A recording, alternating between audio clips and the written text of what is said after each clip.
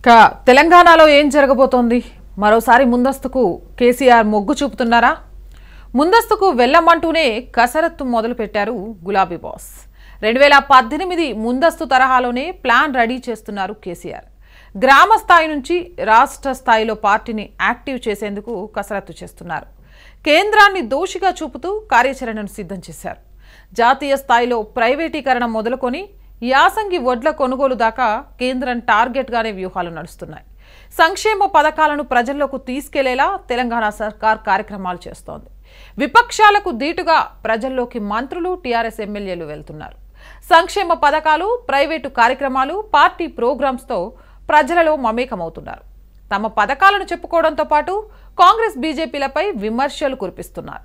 ఇక ఇవాళ ప్రగతి భవన్లో పల్లె పట్టణ ప్రగతిపై కేసీఆర్ సమీక్ష నిర్వహించనున్నారు. గ్రామీణ పట్టణ ప్రాంతాలలో ప్రజాభిప్రాయాన్ని తెలుసుకునేందుకే ఈ సమీక్ష అని తెలుస్తోంది.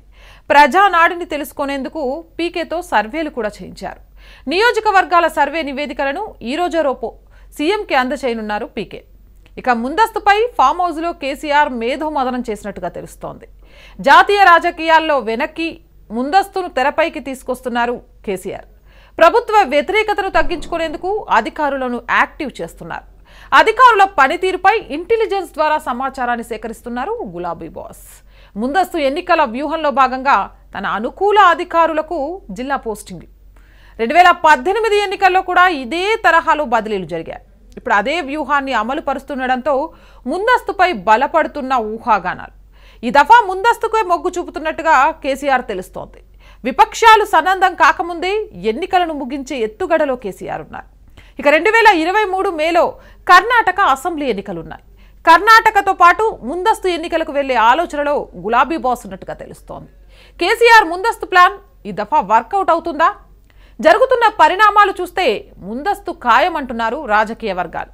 అసలు తెలంగాణ రాజకీయాలు ఏ విధంగా ఉండబోతున్నాయి? తెలంగాణలో ముందస్తు ఎన్నికలు వచ్చే ఛాన్స్ ఉందా? కేసీఆర్ వేస్తున్న అడుగుల వెనక ఆంతర్యం ఏంటి? ఇది ఇవాల్టి మన బిగ్ డిబేట్.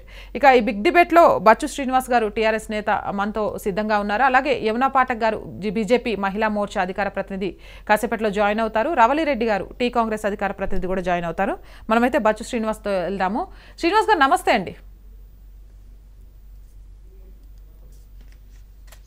నమస్తే అండి నమస్తే. శ్రీనివాస్ గారు. ముందస్తుకు మొత్తం రంగం సిద్ధం చేసుకుంటున్నట్టున్నారు టీఆర్ఎస్ నాయకులు కానీ అధినేత కానీ మొట్టమొదట ఈ రాజ్ న్యూస్ వీక్షకులకు మీకు ఇంకా అంటే మళ్ళీ జాయిన్ అవ్వబోయే అటువంటి మన సహచరులందరూ కూడా నమస్తే అండి. నమస్తే. అంటే తెలంగాణలో ముందస్తు వస్తది అనేటువంటి ఈ యొక్క ప్రాపకండను ఎవరు చేస్తున్నారు అంటే ఈ ఈ యొక్క ఆ కాంగ్రెస్ పార్టీ కానీ బీజేపీ పార్టీ కానీ ఈ పాదయాత్రలు లేకపోతే వాళ్ళ యొక్క పార్టీ సభలు నిర్వహించుకొని ముందుగానే ఎన్నికలు వస్తాయేమో అనేటువంటి ఆలోచనతోని వాళ్ళు ఒక పది సంవత్సరాల నుంచి అధికారంలో లేని కాంగ్రెస్ పార్టీ కావచ్చు ఇక్కడ ఇప్పటి వరకు అధికారంలోకి రాని అధికారంలోకి అర్రులు చాస్తూ మేము అంటే ఎదుటి వ్యక్తి అంటే కాంగ్రెస్ పార్టీలో కొంత అంతర్గత ప్రజాస్వామ్యం పేరిట ఉన్నటువంటి పరిస్థితుల్లో కేంద్రంలో తమ ప్రభుత్వం ఉందనేటువంటి ఆశతోని ఈ రాష్ట్రంలో మేమున్నాము మేమే ప్రత్యామ్నాయము. అంటే ఒక బలమైన ప్రాంతీయ పార్టీ ఈ రాష్ట్రంలో ఎనిమిదిన్నర సంవత్సరాలుగా కొనసాగుతుంది.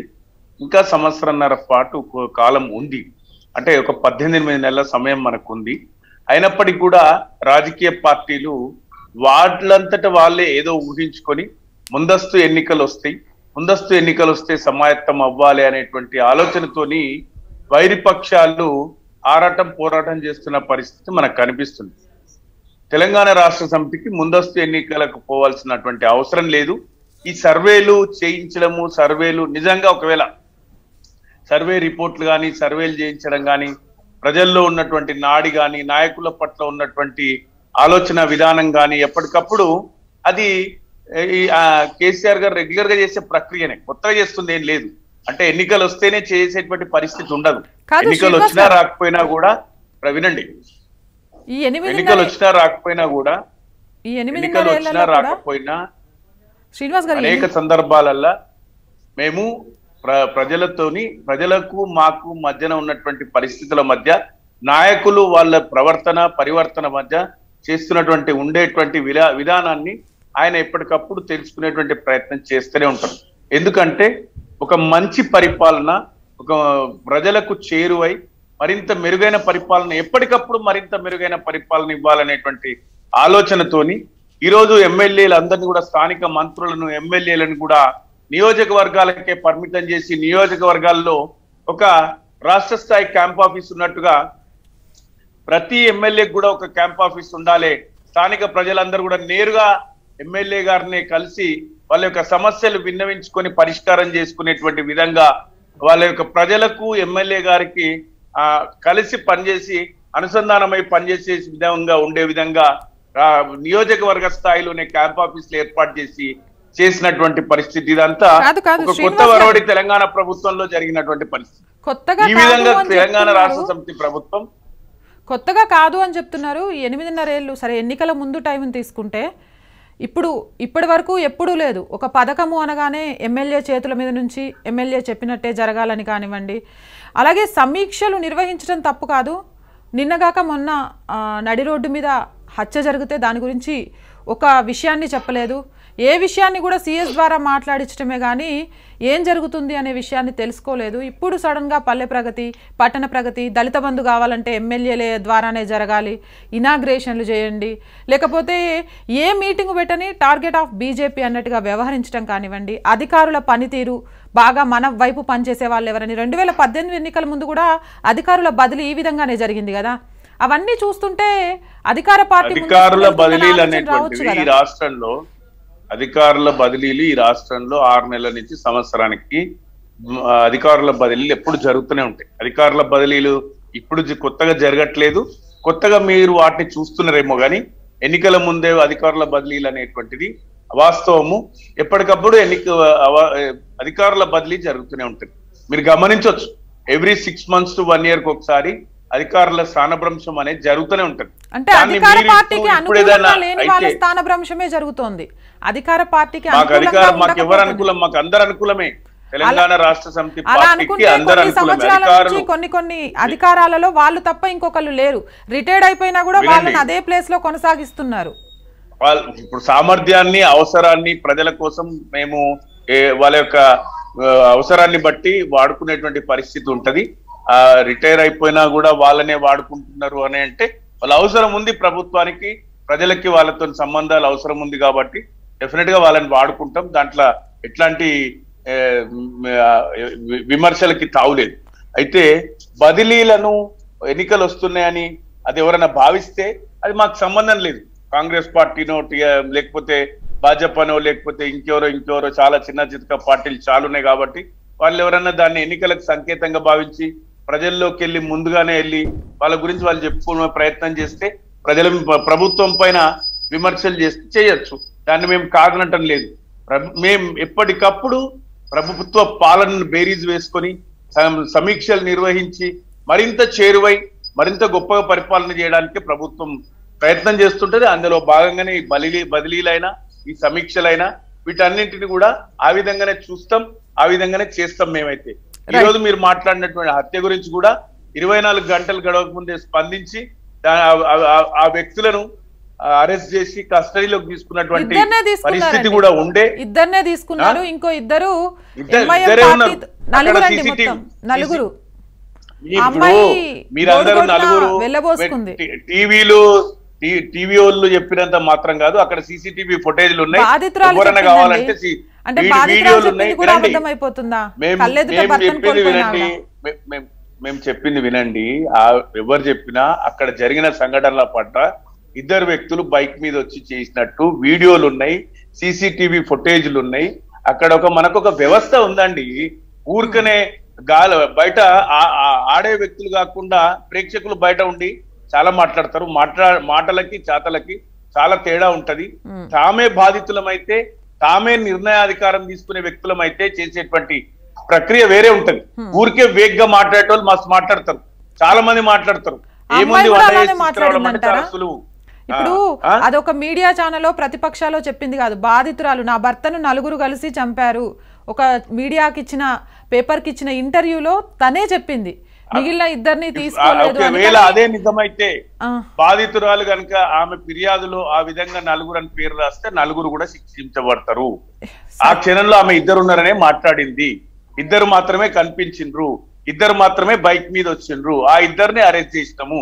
ఆమె ఫిర్యాదు మేరకు ఇంకా ఇద్దరు కాదు ఇరవై మంది దాని వెనకాల ఉన్నారని కనుక ఫిర్యాదు చేస్తే దానిపైన సమగ్ర విచారణ జరుగుతుంది ఆమెకు పూర్తి స్థాయి న్యాయం జరుగుతుంది ప్రభుత్వ పక్షాన రావాల్సిన అన్ని కూడా సమిష్ట సమకూరుస్తామని ఆ రోజు ప్రెస్ మీట్ నిర్వహించినటువంటి సిపి గారు కూడా తెలియజేయడం జరిగింది. ఇప్పుడు అది వదిలేద్దాం. దాన్ని కొంచెం పక్కన పెట్టేసి ఈ రోజు ముందస్తు ఎన్నికలు వస్తాయా రావా ఎందుకు వస్తాయి? ముందస్తు ఎన్నికలు పోలాల్సినటువంటి అవసరం తెలంగాణ రాష్ట్ర సమితికి లేదు ముందస్తు ఎన్నికలకి వెళ్ళాల్సినటువంటి అవసరం ఎవరికైనా ఉంది అంటే పది సంవత్సరాల అధికారంలోకి దూరంగా ఉండి ఎప్పుడెప్పుడు ఎన్నికలు జరుగుతాయా?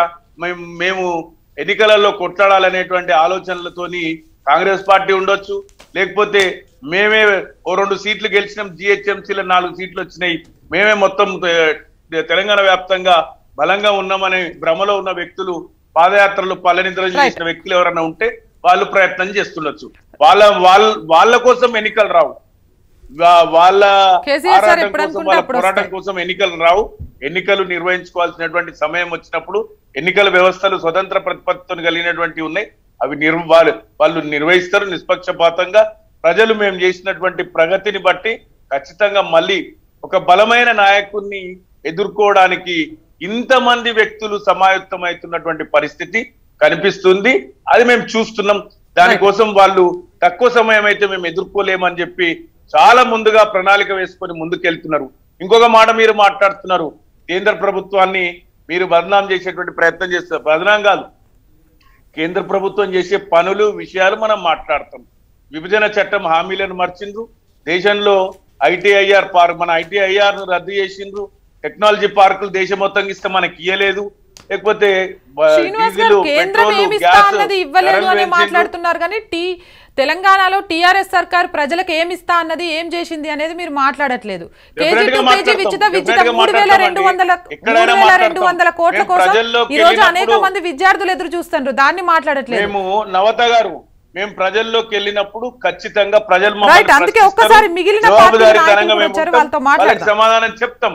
రైట్ అందుకే ఒకసారి రవలిరెడ్డి గారి దగ్గరకు కూడా వెళ్దాం. రవలిరెడ్డి గారు నమస్తే అండి. మొత్తానికైతే తెలంగాణలో జరుగుతున్నవన్నీ చూస్తున్నాము.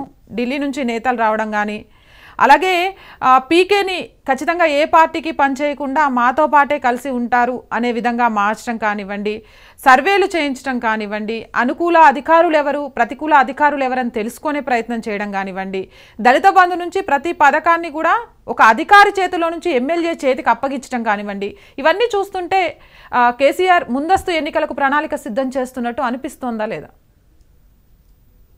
గుడ్ మార్నింగ్ అండి. ఈ రోజు ముందస్తు ఎలక్షన్ ఏ రకంగా వెళ్తారు ఎందుకు వెళ్తారు అనే దానికి మొత్తం డెఫినేషన్ మార్చేసింది ఈ టిఆర్ఎస్ ప్రభుత్వం. ఎందుకంటే ఏదైనా ఆపద్బాంధవ సమయంలో లేకపోతే అనుకూల పరిస్థితులు అనుకూలించినప్పుడు లేకపోతే ఏదైనా విపత్తు జరిగినప్పుడు ఏదైనా రాష్ట్ర ప్రభుత్వానికి ఆపద ఉన్నప్పుడు మాత్రమే ముందస్తు ఎలక్షన్లకు వెళ్ళాలి కానీ మాకు అనుకూలంగా లేదు మాకు అనుకూలంగా ఉన్న టైంలోనే ఎలక్షన్ పెడతాము.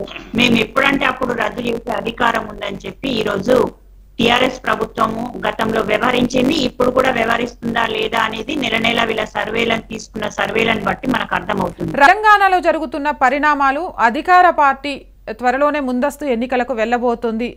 అనేది దాంతోపాటు ప్రతిపక్షాలు అంటే ఇటు బీజేపీ కానీ అటు కాంగ్రెస్ కానివ్వండి వరుసగా సెంట్రల్ నుంచి మినిస్టర్స్ రావడం అలాగే పార్టీ అధినేతలు రావడం ఇక్కడ ప్రచారాలు చేయడం కానీ పీకెన్ పెట్టుకొని కేసీఆర్ చేస్తున్నది కానీ లేకపోతే అడుగడుగున జరుగుతున్న తెలంగాణలో అడుగడుగున జరుగుతున్న పరిణామాలు ముందస్తు ఎన్నికలకు వెళ్తున్నాయి అనేలా కనిపిస్తుందా లేదా ప్రజలకి?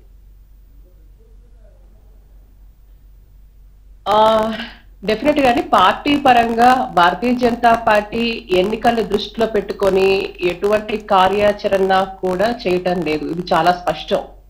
మీరు మునపటగా చూస్తే ఇంతకు ముందైనా ఇప్పుడైనా భారతీయ జనతా పార్టీ ఒకే- ఒకే ఒకే విధంగా ఆ, ప్రతిపక్షంగా కాదు ప్రజాపక్షంగా ప్రజా సమస్యలు తెలుసుకునే తరుణంలో ప్రజలకు ఏం కావాలి? వాళ్ళకి మెరుగైన పాలన కోసం ప్రజలకు ఏం కావాలి? ప్రజలు కష్టాలు బోడు చెప్పుకునే మాధ్యమం లేకపోతే ప్రజలను నేరుగా చేరుకొని వారి యొక్క అవస్థలను తెలుసుకునే ప్రయత్నమే భారతీయ జనతా పార్టీ చేస్తుంది. సో ఇది ఎన్నికలకు ఆ, ఎన్నికలను ఇప్పుడు ఎన్నికలు లేవు కదండి. మరి ఈ రోజు మా రాష్ట్ర అధ్యక్షులు బండి సంజయ్ గారు పాదయాత్ర ఇది రెండోసారి కూడా చేశారు. మొదటిసారి చేసినా రెండోసారి చేసినా ఇక ముందు చేసినా కూడా కేవలం ప్రజలకు ప్రజలకు ఏం కావాలి?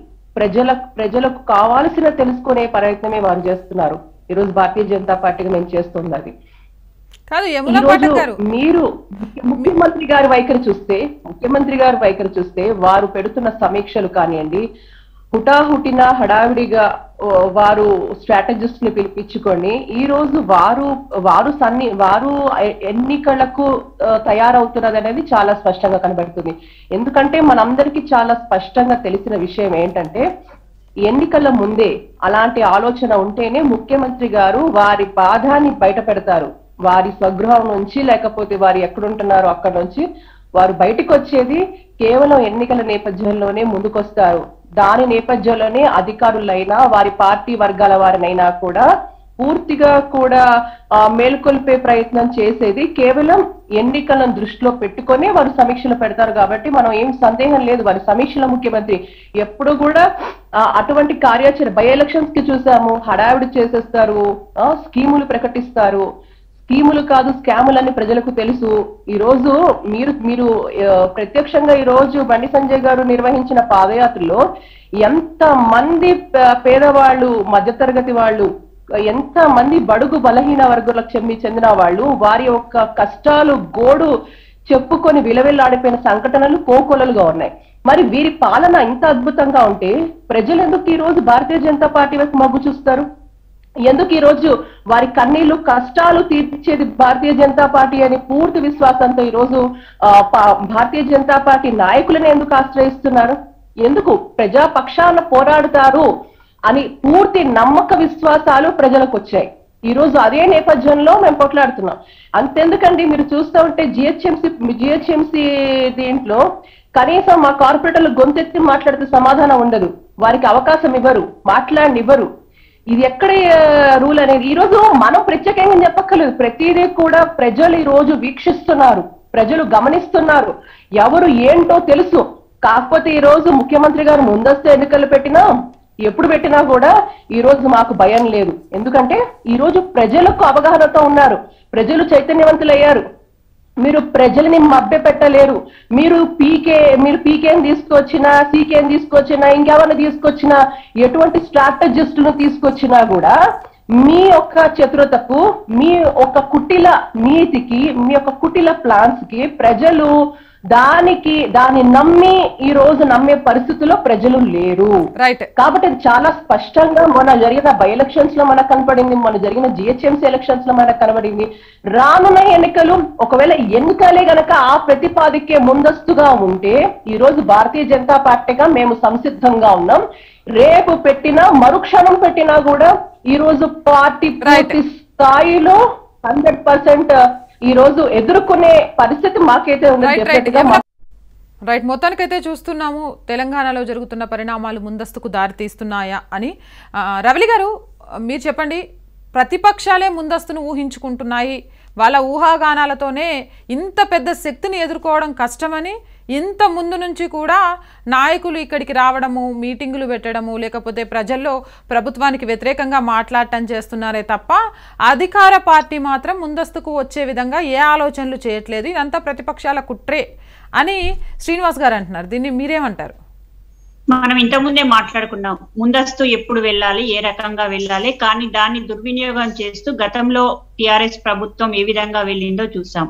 ఇప్పుడు కూడా అంటే నెల నెలకు సర్వేలు చేయించుకుంటూ ఎవరి పనితీరు ఏ విధంగా ఉంది ప్రజల్లో టిఆర్ఎస్ పార్టీ మీద ఏ స్పందన ఉంది అనేది ప్రతినిత్యము వాళ్ళు విశ్లేషణ చేసుకుంటూ వాళ్ళు ఎప్పుడు ఎలక్షన్స్కి వెళ్తారో వాళ్ళకు తెలియదు ఎందుకంటే ఈ రోజు ప్రభుత్వం ఒక పిచ్చోని చేతిలో రాయిలాగా ఉంది.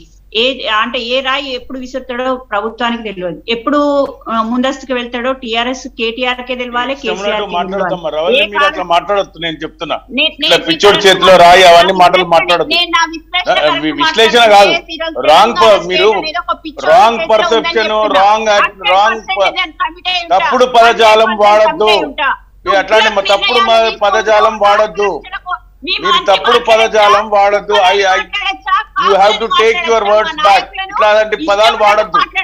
మీరు ఇష్టం ఉన్నట్టు మాట్లాడొద్దు. మీరు మాట్లాడండి. మీరు ఏదైనా మాట్లాడండి కానీ మీరు ఇట్లా ఇష్టం ఉన్నట్టు పదజాలాలు వాడద్దు. మీ నాయకులకు పెట్టండి గడ్డి మాకు కాదు. మీ నాయకులు రాహుల్ గాంధీ గారిని అనే ముందు కొంచెం పద్ధతి నేర్చుకుంటే మేము కూడా ఏమన్నారు రాహుల్ గాంధీ గారిని ఏమన్నారు?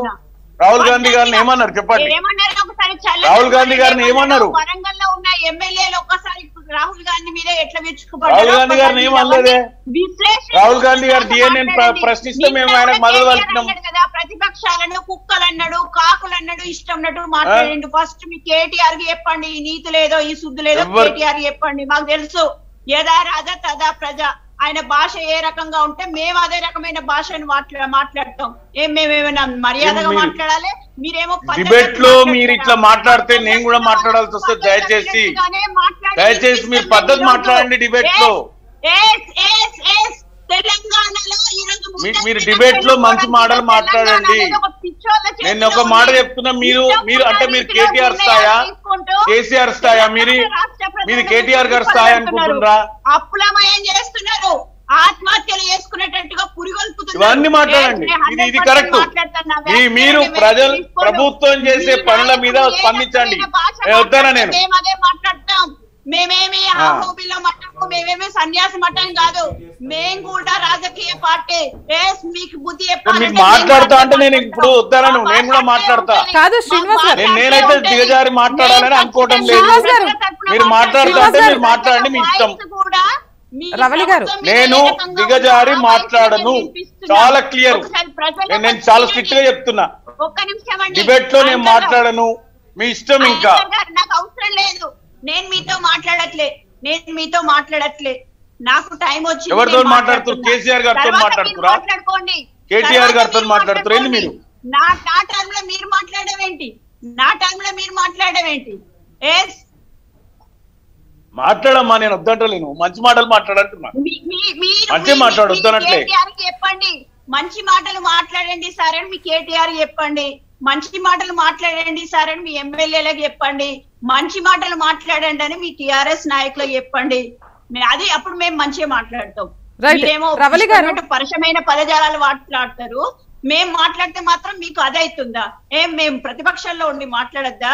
తెలంగాణ ప్రజలుగా మా బాధను మేము వెళ్ళగకపోతే సరే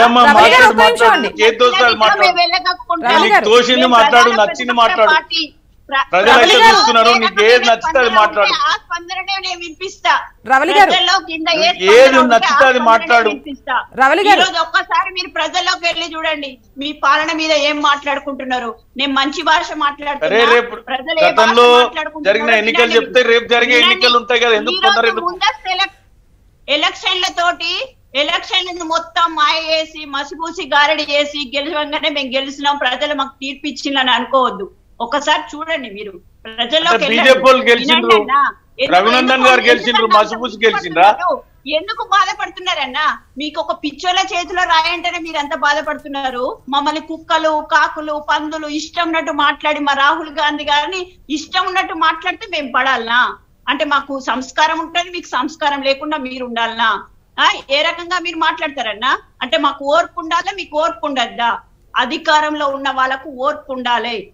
ఓర్పు ఉండి ఎవరు సమాధానం. సమాధానం చెప్పే ఓర్పు ఉండాలి అంతే. తప్ప ఇష్ట రీతిలో నోరుంది కదా అని ఆ, బహిరంగ సభల్లో విరుచుకుపడితే ప్రజాస్పందన ఇట్లే ఉంటది. ఈ రోజు ఏ రకంగా ఏ కారణాలతోటి మీరు వడ్లు కొనని చెప్తారు?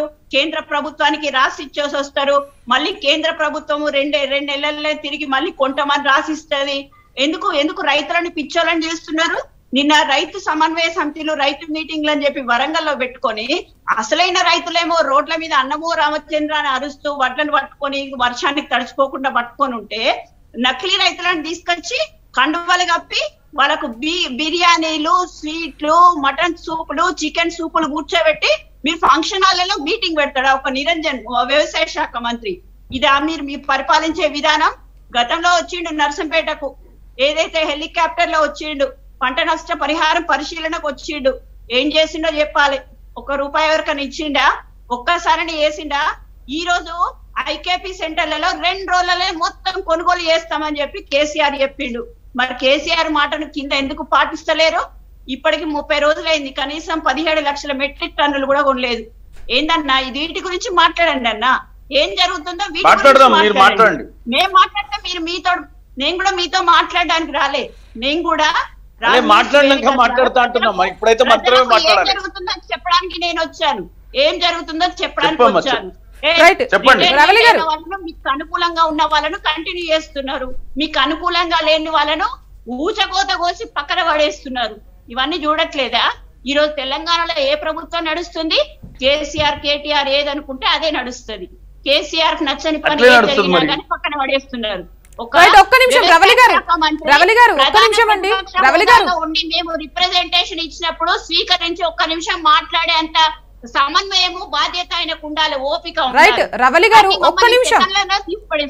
రవలి గారు ఒక్క నిమిషం అండి శ్రీనివాస్ గారు ఇప్పుడు మీరు రెండు మాటలు మాట్లాడారండి ఒకటి రవలి గారిది కేసీఆర్ స్థాయా కేటీఆర్ స్థాయి అని అంటే కేసీఆర్ స్థాయి కేటీఆర్ స్థాయి ఉంటే ఏదైనా మాట్లాడొచ్చా నెంబర్ టూ ఆ, వాళ్ళు అట్లే ప్రవర్తిస్తారు అని చెప్తారు ఎట్లా ప్రవర్తిస్తారండి అంటే ప్రతిపక్షాలు అడిగిన ప్రశ్నలకు కూడా అసలు మీరు చెప్పే సమాధానం ఏంటి? వాళ్ళు అట్లే చేస్తారు. కేసీ అంటే కేసీఆర్కి కేటీఆర్కి తెలంగాణలో ఒక స్థాయి అని ఎక్కడైనా కొత్తగా లిఖించి పెట్టారా? నేను అట్లా అనలే అమ్మా. నేను అన్నది మీరు వినండి. వినండి వింటే మాట్లాడదాం. వింటే మీకు అర్థమవుతుంది నేను ఏం మాట్లాడినా అనేది.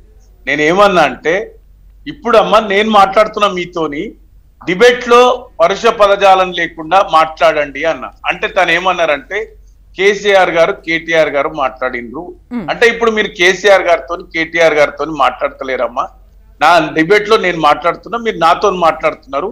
నేనైతే మాట్లాడను మీరు మాట్లాడతా అంటే మీ ఇష్టం అన్న. లేదు ఇది. నేను స్పష్టంగా మాట్లాడింది.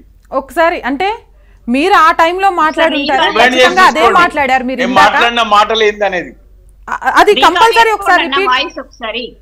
అది ఒకసారి ఖచ్చితంగా రిపీట్ చేసుకుంటే తెలుస్తుంది. ఇప్పుడు రవలి గారు అడిగిన అది దాంట్లో కూడా నిజంగా గా.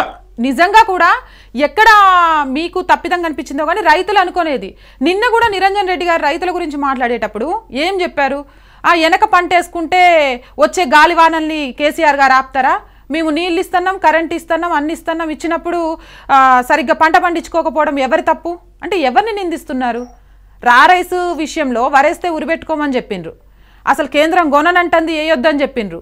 ఇరవై నుంచి ముప్పై శాతం వరకు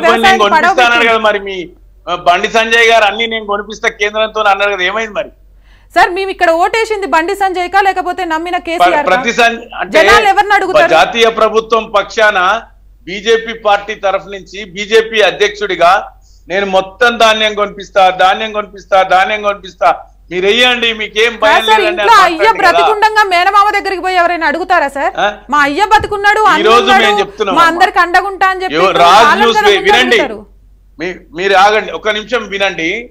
ఈరోజు మళ్ళీ మేము చెప్తున్నాం రాజ్ న్యూస్ వేదికగా ప్రతి రైతుకు తెలంగాణ సమాజంలో ఉన్నటువంటి ప్రతి రైతుకు చెప్తున్నాము. ఇప్పటి వరకు పంతొమ్మిది లక్షల మెట్రిక్ టన్నుల ధాన్యం కొనుగోలు చేసినాము రాష్ట్ర వ్యాప్తంగా. రెండు వందల నాలుగు సెంటర్లలో పూర్తిగా కొన్నాము. రాబోయే రోజులలో కొన్ని చోట్ల అకాల వర్షం పడ్డది. అక్కడ కూడా పూర్తిగా ఎండబెట్టుకొని తీసుకొని వస్తే మేము ఖచ్చితంగా కొనుగోలు చేస్తామని చెప్పి పౌర సరఫరాల శాఖ మంత్రి అయినటువంటి గంగుల కమలాకర్ గారు చెప్పిండ్రు. మిగతా ఇంకెవరికైనా ఎక్కడైనా ఇబ్బంది కలిగితే సంబంధిత వ్యవసాయ అధికారులకు వాళ్ళు విజ్ఞప్తి చేసుకోవాలి. అక్కడ కూడా స్పందించకపోతే నేరుగా మంత్రి గారికో ఎవరికో ట్వీట్ చేసుకునేటువంటి అవకాశం కూడా ఈ రోజు ఉంది. అంటే ముఖ నేరుగా ప్రత్యక్షంగా ట్వీట్ల. ద్వారా కూడా కలిసేటువంటి వినండి వినండి వినండి. వినాలమ్మా ఒక్క నిమిషం. మధ్యలో మీరు డిస్టర్బ్ చేయదు మేము ఈ రోజు కూడా చెప్తున్నాము ప్రతి రైతు దగ్గర ఖచ్చితంగా కొనుగోలు చేస్తాం మేము? ఆశిస్తున్నటువంటి కేంద్ర ప్రభుత్వం? వినండి కాదు వినండి వినాలి. వినాలండి ఆవేశపడితే పండించిన రైతు. కూడా దాన్ని జాగ్రత్త చూసుకునేటువంటి అవసరం ఉంటది మా బాధ్యత ఎంత ఉంటుందో రైతు బాధ్యత కూడా అంతే ఉంటది ఈ రోజు కేంద్ర ప్రభుత్వం మాకు గన్ని బ్యాగులు ఇవ్వకపోయినా లేకపోతే వాళ్ళు చదువుతారు ఒక లిస్ట్ చదువుతారు. గన్ని బ్యాగుల? కమిషన్ మేమే ఇస్తున్నాము అన్ని మేమే ఇస్తున్నాం కానీ వాళ్ళు కొంటలేరు అని మాట్లాడుతుంటారు. అయినా కూడా మేము చెప్తున్నాం వీలైనంత వరకు ఎక్కువ తొందరలోనే అందరి రైతుల దగ్గర నుంచి ధాన్యం సేకరించుకోవడానికి సత్వరమే ఎక్కడ కూడా రవాణాలో కూడా లోపం లేకుండా మేము ప్రయత్నం చేస్తున్నాము. ఎక్కడైనా ఇబ్బంది కలిగిన రైతులు ఉంటే సంబంధిత అధికారులతోని వాళ్ళ సమస్యను పరిష్కరించుకోవాలి. అక్కడ కూడా పరిష్కారం జరగకపోతే చిట్ట చివరగా సంబంధిత మంత్రిత్వ శాఖను సంప్రదించాలని చెప్పి నేను రాజ్ న్యూస్ ద్వారా కోరుకుంటున్నా. రైట్. అదే చెప్తున్నాను సార్. ప్రెస్ మీట్లో ముఖ్యమంత్రి గారు కూడా అదే చెప్పారు. ఈ రోజు వరకు ఏం జరిగిందో చూసాం. మీరేమో కేంద్రం గన్ని బ్యాగులు ఇవ్వట్లేదు అంటున్నారు. గంగుల కమలాకర్ గారేమో గన్ని బ్యాంకులకు కానీ దేనికి కానీ కొరత లేదని చెప్తున్నారు. అసలు ఎవరిది తెలంగాణలో నమ్మాలో అర్థం కాని పరిస్థితిలో పాపం రైతులు అయితే సరే కేంద్రం ఇయ్యకపోయి వినండి. కేంద్రం ఆయన అన్న మాటలు మీరు వక్రీకరించొద్దు. మీరు ఇప్పుడు కేంద్రం ఇయ్యకపోయినా మేము సమకూర్చుకు వినండి. కేంద్రం ఇస్తా అని ఇయ్యకపోయినా మేము సమకూర్చుకుంటున్నాం. ఇది స్పష్టంగా వినాలి. ప్రజల్లోకి తప్పుడు సమాచారం వెళ్ళొద్దు. ఒప్పు చేస్తే ఒప్పు మాట్లాడాలి. అదే అంటున్నాం సార్ ప్రజలను రైతులను రైతుల బ్రతుకులతోటి ఆడుకోవద్దు అనేదే జనాల అభిప్రాయం కూడా. ఎందుకంటే ఏడు వేల రెండు వందల కొనుగోలు సెంటర్లు వారం రోజుల్లో కొంటాం పంతొమ్మిది వందల ఎనభై రూపాయల మద్దతు ధరకు ఒక్క రూపాయి తక్కువ ఇవ్వద్దు ఇది చెప్పి ఎన్ని రోజులైంది ముఖ్యమంత్రి గారు? అంటే ముఖ్యమంత్రి గారు చెప్పినా కూడా వారం రోజుల్లో అధికారులు పనిచేసి కొనలేకపోయి కొనుగోలు సెంటర్ని పెట్టలేకపోయారు అంటే రాష్ట్రంలో పరిస్థితి ఎలా ఉందో అర్థమైపోతుంది కదా. రైట్ యమునా పాఠక్ గారు చెప్పండి మొత్తానికి తెలంగాణలో జరుగుతున్న పరిణామాలు కానివ్వండి అధికార పార్టీ కానివ్వండి ప్రతిపక్షాలు కానివ్వండి చేస్తున్న తీరు కానివ్వండి అసలు ముందస్తుకు వస్తే పరిస్థితులు ఏ విధంగా మారే అవకాశం ఉంటుంది? నవత గారు ఇందాకే నేను చాలా స్పష్టంగా చెప్పాను వీఆర్ ప్రిపేర్డ్ ఎలక్షన్స్ ఈ రోజు పెట్టినా ఇప్పుడు పెట్టినా మరుక్షణం పెట్టినా కూడా భారతీయ జనతా పార్టీ పూర్తి స్థాయిలో సంసిద్ధంగా ఉంది. అండ్ మరొక విషయం ఇందాక శ్రీనివాస్ గారు ఒక మాట ప్రస్తావించారు. నేను ఒక్కటే రోజు రాజ్ న్యూస్ మాధ్యమంగా జస్ట్ ఒక సగటు మనిషిగా మీరు ఒక ప్రతిపక్షంగా ప్రతిపక్షంలో నేతగా మాట్లాడటం లేదు. ఒక చిన్న ప్రశ్న. నాకు అర్థం కాంతి ఏంటంటే మీరు ఊ అంటే ఆ అంటే కేంద్రం అంటాం. మునపట ఎప్పుడో కూడా ఇంతకు ముందున్న రాష్ట్ర ప్రభుత్వాలు ఎప్పుడూ అంత స్థాయిలో కేంద్రం కేంద్రం అని మాట్లాడలేదండి. ఏ ప్రభుత్వం ఉన్నా కూడా అంటే ఇక్కడ మీకు లీడర్షిప్ అనేది ఎక్కడ ప్రొజెక్ట్ చేస్తున్నారో నాకు తెలియటం లేదు లీడర్షిప్ అంటే కద్దరు బట్టలు వేసుకోవడమో లేకపోతే పెద్ద ఖరీదైన కారులో తిరగడం అనేది నా ఉద్దేశం కాదు. ప్రజా సమస్యల మీద ఎంత అవగాహన ఉంది. సమన్వయం. అంటే అధికారులకు అక్కడున్న పాలక మంత్రులకు ఎంత సమన్వయం ఉంది? ఒకటి. రెండో ప్రశ్న వీళ్ళకి వారి వారి మంత్రిత్వ శాఖ పట్ల ఎంత అవగాహన ఉంది? రూల్స్ రెగ్యులేషన్స్ ఆ శాఖ ఏం పనిచేయాలి ఆ శాఖ పనితీరు ఏమిటి? ఆ శాఖకు సంబంధించిన అధికారులతో ఎలా సమన్వయంతో పనిచేసుకోవాలి ఒక శాఖకి ఇంకొక శాఖకి ఒకవేళ కోఆర్డినేషన్ లేకపోతే దాన్ని ఎట్లా కోఆర్డినేట్ చేసుకోవాలి? సమీక్షలు ఎట్లా పెట్టాలి? ప్రతి దగ్గర వీక్లీ సమీక్షలు ఉన్నాయా? లేకపోతే బై మంత్లీ సమీక్షలు ఉన్నాయా? మంత్లీ సమీక్షలు ఉన్నాయా? ఒక్క ఒక్క సమీక్ష ఒక మంత్రి అధికారులతో కూర్చొని చేసిన సమీక్షలు మాకు చూపించండి. ఒక ప్రోగ్రెస్ రిపోర్ట్ చూపించండి. ఈరోజు తెరాస తెరాజ ప్రభుత్వం నిజంగా అడుగుతుందా? ఈరోజు అర్థం చేసుకోవడానికి అట్లీస్ట్ వాళ్ళ వాళ్ళ శాఖలకు వీళ్ళకి అది వీళ్ళకి అవగాహన ఉంటే నవత గారు మీరు అడుగుతున్నారు ఇన్ని ప్రశ్నలు అడుగుతున్నారు ఒకటే సమాన సమాధానం దీనికి. వాళ్ళ వాళ్ళ శాఖలకు వాళ్ళకు అవగాహన ఉంటే అప్పుడు కదా వారు మాట్లాడేది. వాళ్ళకి అవగాహన లేదు కాబట్టి ఊ అంటే ఆ అంటే కేంద్రం కేంద్రం కేంద్రం. అన్ని కేంద్రమే డెఫినెట్గా కేంద్రమే తప్పకుండా ఈ రాష్ట్రంలో కూడా భారతీయ జనతా జనతా పార్టీ సర్కారు తప్పకుండా వస్తుంది. అప్పుడు పూర్తి స్థాయిలో మీరు చూస్తారు. ప్రతిదానికి కేంద్రం కేంద్రం కేంద్రం. మీరేం చేస్తున్నారో చెప్పరే? మీరేం మా పని చేస్తున్నారో చెప్పరే? మీరు పూర్తిగా కూడా నూట పంతొమ్మిది నియోజకవర్గాల్లో ఎటువంటి అభివృద్ధిని సాధించారు? ఏ శాఖల్లో? అడగండి మీ మంత్రులతో సమీక్ష పెట్టండి. మీరు ఎలక్షన్లకు ముందు సమీక్ష కాదు. మీ మంత్రులతో సమీక్ష పెట్టండి. వాళ్ళు ఏం చేశారు? వారి మంత్రి పదవి ఇచ్చిన తర్వాత ఏ శాఖకి ఎంత జస్టిస్ చేశారు? అసలు వాళ్ళకి క్విజ్ పెట్టండి. ఒక జనరల్ నాలెడ్జ్ ఉందో అడగండి అసలు. వాళ్ళకి అవగాహన ఉందో అడగండి ఈ రోజు కేవలం ఎంతసేపు కూడా ఇది కేంద్రం చేయలేదు ఇది కేంద్రం చేయలేదు. మీరేం చేస్తున్నారు? మీకున్న అధికారం ఏమిటి? మీకు జనం ఇచ్చిన అధికారం ఏంటి? మీ ఎమ్మెల్యేలు ఏం చేస్తున్నారు? మీ ఎంపీలు ఏం చేస్తున్నారు? ఎక్కడ మాట్లాడుతున్నారు? మీరు ఎక్కడ స్పందిస్తున్నారు? ఛానల్స్ మీద స్పందించడం కాదండి. అధికార అధికార పక్షంగా ఉన్న పార్టీ ఎక్కడ స్పందిస్తే ఎక్కడ ప్రజా సమస్యలు తీరుతాయి ఎక్కడ మాట్లాడాలి ఎక్కడ చెయ్యాలి ఇదేమన్నా మనం విఆర్ ఇన్ డెమోక్రటిక్ కంట్రీ ప్రజాస్వామ్యబద్ధంగా ఏర్పరచుకున్న ఒక దేశంలో మనం ఉన్నాం. ఈ రోజు మీకున్న అధికారం ఒక ఎమ్మెల్యేలుగా మీకున్న ఎంపీ ఎంపీలుగా మీరు ఎటువంటి కార్యాచరణ తీసుకొస్తున్నారు? ఆ వాళ్ళు చేయటం లేదు. ఇదే is it is it a joke is it a joke no we are in democracy చేయటం లేదు. ఏంటి? చిన్నపిల్లలకు ఇంటికి వెళ్ళి పెద్దలకు చాడీలు చెప్పినట్టు చెప్తే ప్రజలు హర్షించారు. That doesn't show your leadership మీరు ప్రజా సమస్యలు ఎప్పుడు ఛేది ఎప్పుడు ఎప్పుడు ఛేదిస్తారు? ఎప్పుడు తెలుసుకుంటారు? ఎప్పుడు మీకు ఒక హోలిస్టిక్ అప్రోచ్ ఉంది?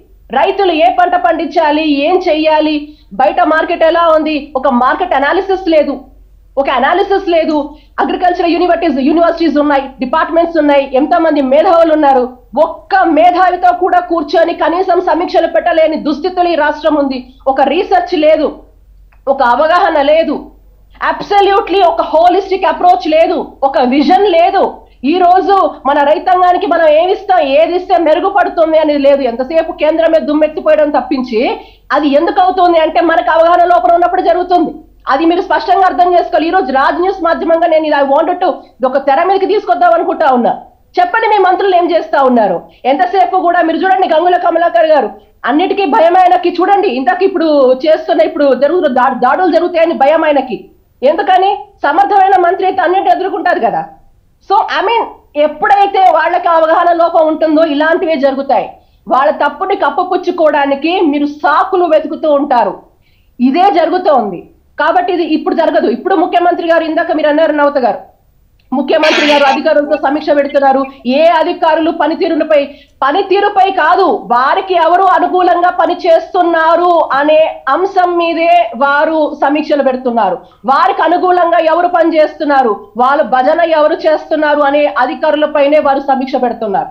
కాబట్టి ఈ రోజు ప్రజలకు ఎవరు నిజమైన సేవను అందిస్తున్నారు అనే దాని మీద ఎక్కడ సమీక్ష జరుగుతుంది? వారికి అనుకూలంగా లేని ఆఫీసర్లు ట్రాన్స్ఫర్లు చేయలేదా? బదిలీలు చేయలేదా? వారికి అనుకూలంగా ఉన్న ఆఫీసర్లు ఎంత మందిని వాళ్ళ. పదవీ కాలము వారి పదవీ కాలం అయిన తర్వాత కూడా ఎంత. కోర్టులో కంటిన్యూ చేశారు? చెప్పండి. రైట్ మొత్తానికైతే చూస్తున్నాము ముందస్తు ఎన్నికలకు సంబంధించి పార్టీల అభిప్రాయం ఏంటి? ఆ పార్టీలు ఏ విధంగా అడుగు వేయబోతున్నాయి అనేది బచ్చు శ్రీనివాస్ గారు ఇప్పటివరకు రవలి గారు మాట్లాడింది చూసాము యమునా పటక్ గారు మాట్లాడింది చూసాము. ఇవన్నీ చూసిన తర్వాత కూడా టీఆర్ఎస్ పార్టీ సర్వేలు చేయిస్తుంది అనేది వాస్తవం అలాగే అధికారులతో మాట్లాడుతుంది అనేది వాస్తవం. అధికారాలు చేయాల్సిన అంటే ఒక పథకాన్ని ఈ మనిషికి అర్హుడా కాదా అని తేల్చాల్సిన బాధ్యత ఒక అధికారికి ఉంటుంది.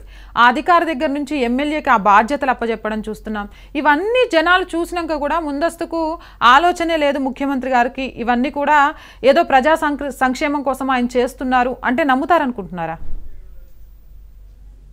ఒక చిన్న ప్రశ్న మీకు. అంటే అంటే మీకు లేకపోతే ఈ ముందస్తు అనేటువంటి ఆలోచన చేస్తున్నటువంటి వ్యక్తులందరూ కూడా డిసెంబర్ ఇరవై మూడు వరకు మనకు సమయం ఉంది. అందరు అనుకుంటుండ్రు అది మే ఇరవై మూడు మే ఇరవై మూడు కర్ణాటక ఎన్నికలతో పాటు తెలంగాణలో కూడా ఎన్నికలు జరగవచ్చు అనుకుంటున్నారు.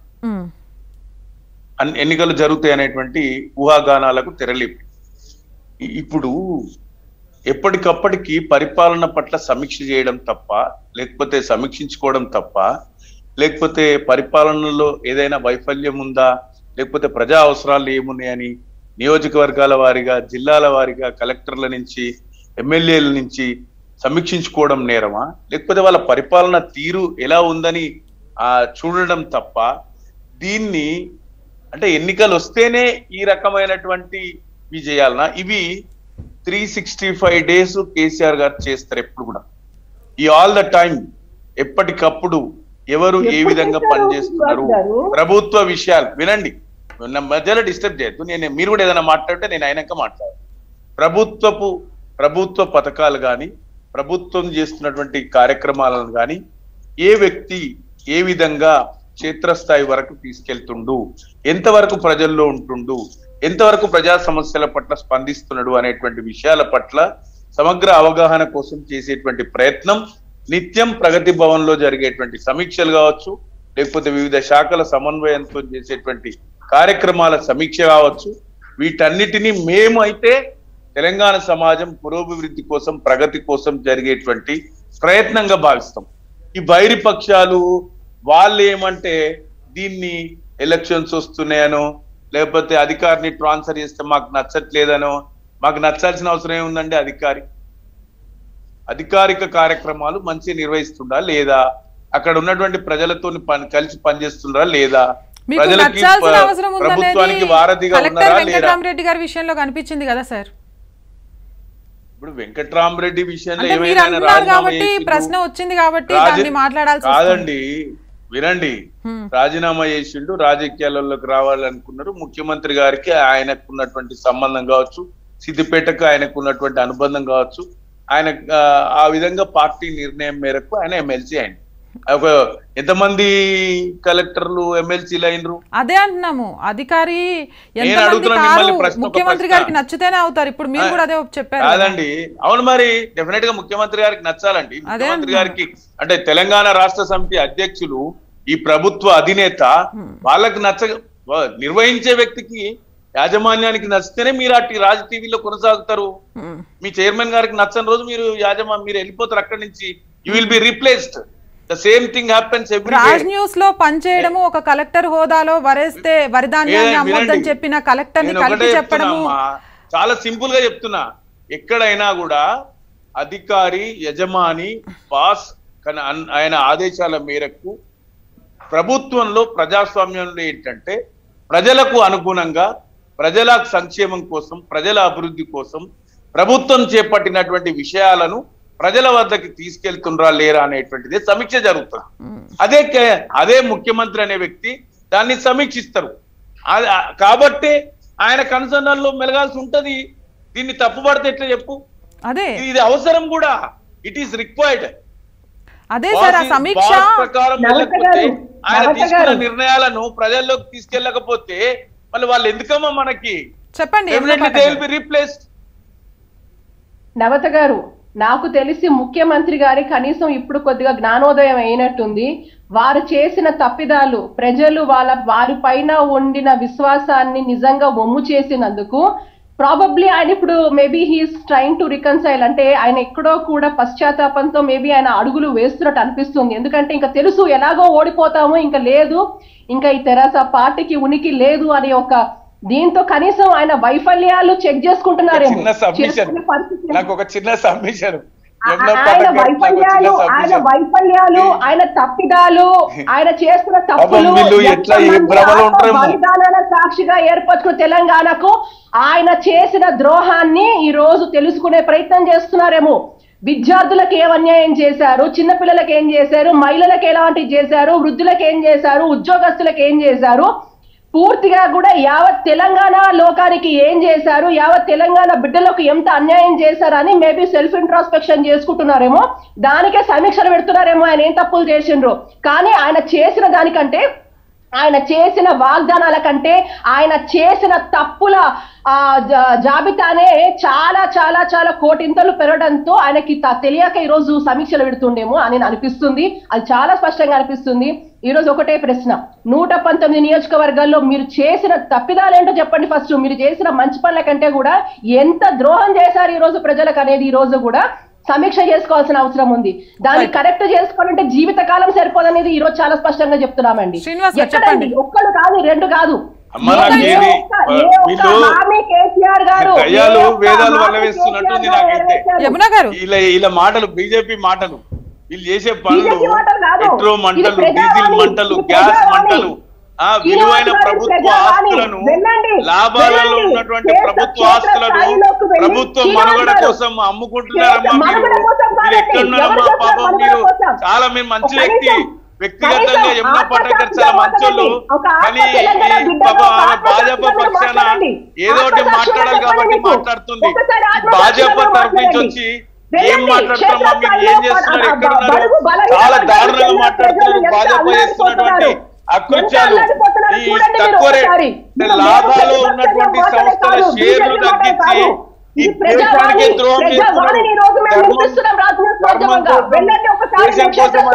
మాట ట్యాగ్ లైన్. మార్చుకోవాలమ్మా మీరు. మీరు వారు పడుతున్న ఇక్కట్లు తెలుసుకోండి. చాలా అప్పుడు చెప్పండి మీరు. మీరు. మాట్లాడుతున్నారు చాలా తప్పు మాటలు మాట్లాడుతున్నారు. నేను మీరు తెలుసుకోవాల్సిన అంశాలు చాలా ఉన్నాయి దయచేసి? మీరు తెలుసుకోవాల్సిన యమున గారు,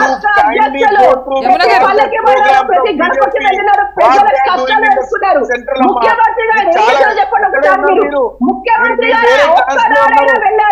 చెప్పండి? ముఖ్యమంత్రి గారు.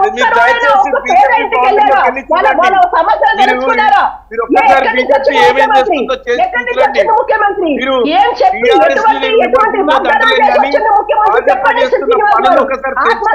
చెప్పండి ఈ రోజు ఏ ఒక్క మీరు మీ మాటలకు ఏ ఒక్క నాయకుడు. ప్రజలతో కలిసి. ప్రజలు ఇక్కడ తెలుసుకున్నారా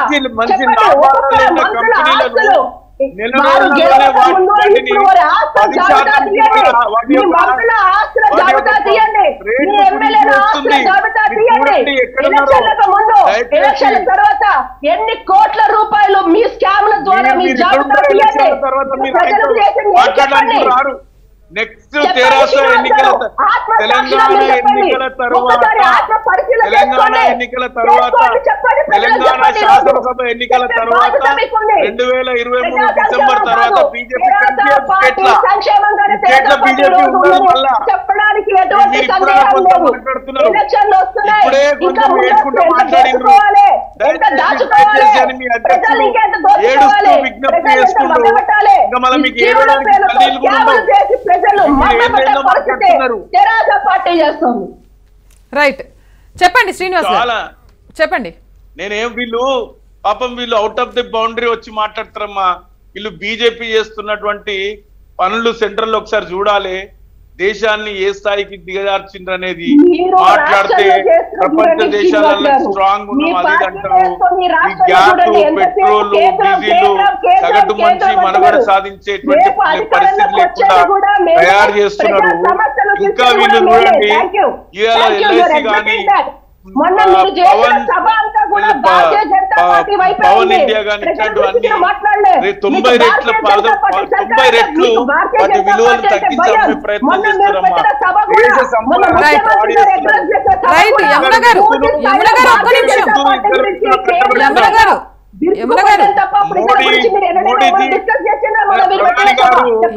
హోంమంత్రి గారు ఇద్దరు కలిసి ఆదానికి అంబానీ కట్టబెడుతున్నాం ఈ దేశ సంపదనంతా దయచేసి ఈ దేశాన్ని మరో బ్రిటిషర్స్కి అప్పచెప్పినట్టు ఇండియాలో ఉన్న వ్యక్తులకే ఒక రోజు దేశ సంపదను కట్టబెట్టే ప్రయత్నం చేస్తుంది.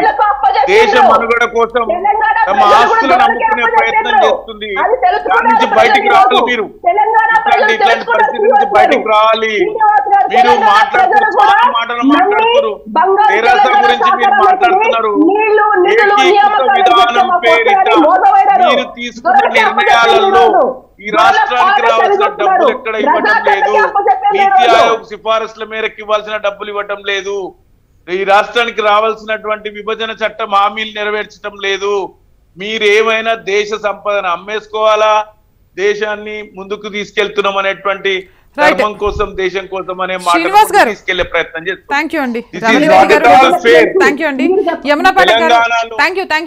ఆ, మన డిస్కషన్ టైం అయిపోయింది కాబట్టి మొత్తానికి చూస్తున్నాము. తెలంగాణలో ముందస్తు ఎన్నికల మాట ఎలా ఉన్నా కూడా పార్టీలు ప్రతిపక్షాలు అధికార పార్టీ నేతలు ఒకరిని ఒకరు విమర్శించుకోవడంతోనే కాలం గడిపేస్తున్నారు. కేంద్రం రాష్ట్రానికి ఏం చేసిందో చెప్పమని అధికార పక్షం అడిగితే అసలు రాష్ట్రంలో నీ నిర్వాకం ఏంటి అని ప్రతిపక్షం అడుగుతోంది. కానీ ఇద్దరు మర్చిపోతుండ్రు ఏంటి అంటే ఈ రెండిటి వల్ల ప్రజా ప్రయోజనం ప్రజల ఆకాంక్షలు ఎక్కడికి వెళ్ళిపోతున్నాయని ఆలోచించే తీరిక ఈరోజు నిజంగా ఎవరికీ లేదు అనేది చాలా క్లియర్గా కనిపిస్తుంది. ఒకరి వైఫల్యాలను ఒకరు ఎత్తి చూపడంతోనే కాలం మొత్తము కూడా ముందుకు గడిచిపోతుంది. కానీ ప్రతి పార్టీ వేస్తున్న అడుగులను చూస్తున్నా కానివ్వండి రెండు వేల పద్దెనిమిది ఎన్నికలకు ముందు కేసీఆర్ వ్యూహాలు అలాగే ఈ రోజు కేసీఆర్ వ్యూహాలు చూసినప్పటికీ కూడా ముందస్తు ఎన్నికలు తథ్యం. బయటికి ముందస్తు ఎన్నికలకు వెళ్ళే ప్రసక్తి లేదు అంటూ మేడిపండు కథలు చెప్తున్నప్పటికీ ఖచ్చితంగా ముందస్తుకు వెళ్ళే ఛాన్స్ అన్ని విధాలా కనిపిస్తుంది అంటూ కూడా ఈరోజు చర్చలో మరొకసారి కనిపించింది. మరో అప్డేట్తో మీ ముందుంటాం. స్టేవితస్ అస్